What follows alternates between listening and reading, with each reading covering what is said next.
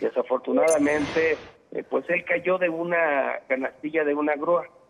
Una grúa que, bueno, hasta cierto punto el brazo mecánico sube a una cierta distancia, pero como no les alcanzaba ese brazo mecánico para llegar al punto donde ellos querían hacer esta reparación, pues le colocaron a la mexicana una escalera, una escalera de esas de aluminio amarrada, y pues dijeron, bueno, subimos el brazo,